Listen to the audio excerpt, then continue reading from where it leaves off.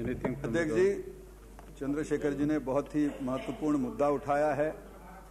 वसंत झाटी जी की ये चिट्ठी हम में से बहुत सारे लोगों को मिली है मुझे भी वो मिली है।